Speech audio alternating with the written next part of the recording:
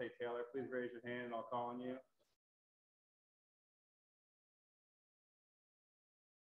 Wes. Uh, Wes, go ahead. Yeah, Alontae, I know that um, y'all had a couple of, of, of bad penalties a couple weeks ago against Pitt. Had, had some more tonight that were pretty unfortunate. I mean, how frustrating is it for sort of execution and and penalties and discipline to be the issues? Uh, it's very uh, disappointing. You know, you kind of want to win those aspects of the game. You don't also you also don't want to make it close, right? So you kind of want to be there early, to kind of make that play. But um, you know, sometimes you just can't control things like that. You just gotta, you know, clear it and just go to the next play. Guys, make sure you're using the raise your hand function. I'm not seeing anybody's hand raised. Just, all right, Chris, we'll go to you and then we'll go to Ryan.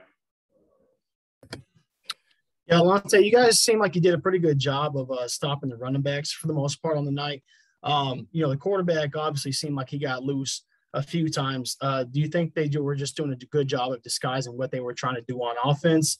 Uh, you know, Emory was pretty good coming into this. Seemed like that was um, uh, definitely a point of interest to try and contain the QB as much as possible. Uh, we, you know, coming in at halftime, they were running everything we knew they were going to run. Um, didn't really change much up you know, we just got to tackle at the end of the day. Um, you know, Emory did. We knew that we had to contain him. Uh, kind of had the same issue against Pittsburgh, so that's something we need we need to tighten up this week. No, no matter who you play, if the quarterback can get loose, you don't contain the quarterback. He's going to make plays with his feet. So, you know, the emphasis was on stopping the run, and I feel like we did a pretty good job, like you said, with the running backs. But as far as containing the quarterback, we didn't do so well, and we just got to wrap up and make more tackles. Adam. Kind of sticking with that run defense, I think Florida just averaged a little under five yards of carry in the first half and then almost nine in the second half. Just what changed with y'all's rush defense?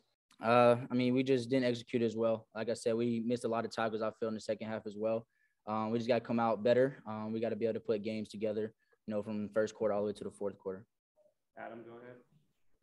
Yeah, Alontae, you could say you guys played a really good one half and a bad second half. Um, are, how do you balance those two? Which team is this? What the team that played well or the team that missed opportunities late? Uh, I mean, really both, I guess. I mean, you watched the three last three games we had. I feel like we played all four quarters. Uh, this game we didn't do that, and something we need to work on this week.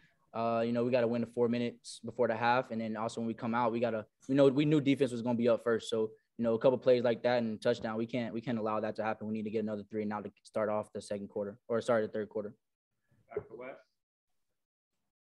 Yeah, Lante, what what was the mood at halftime when y'all went in there? Uh, I mean, I know that you were in the game there, but but also there were a couple of mistakes there that had kept it from maybe y'all being in the lead. What was sort of the the, the mood there and the mindset at halftime? I mean, we was positive. You know, everybody had a good mindset. You know, coaches made sure we stay even kill, uh, not too high, not too low.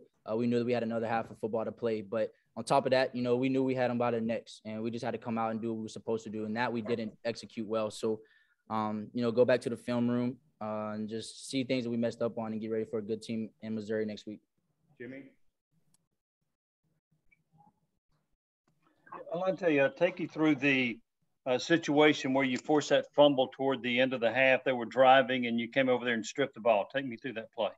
Uh, yeah, so I was just playing a trap to the field. Uh, kind of knew it was fourth and two, fourth and three, and I didn't want him to get the first down. So I kind of trapped a little too early. So Henry seen it and kind of just made a whole shot uh, to Copeland. And I made sure, well, Trevon Flowers made a good stop on him, and I just came in there to finish up the tackle. And, you know, we always talk about getting the ball out, and I knew it was a good opportunity because I seen the ball loose, and I just took my opportunity, and it happened. Wes, did you have another one? Yes. Uh, Alontae, I know that y'all y'all have kind of been here before, right? Um, you know, starting starting the year the way you wanted to, and then it kind of falling apart. How, how do you make sure that doesn't happen again? Where do you think the, the mindset of this team can, can be from that standpoint? Yeah, we won't fall apart. I'm gonna start off with that. Uh, we're gonna get closer as a team. We're gonna uh, go back and watch the film. We're also gonna build that bond, continue to build that bond, and you know, come next week, you know, we'll we'll handle that when that comes. But one thing I will say is we will not fall apart this year, and you can quote me on that. Any more questions for Alontae? All right, thank you, Alontae. Appreciate it. We'll have Javonta Payton here in a few minutes.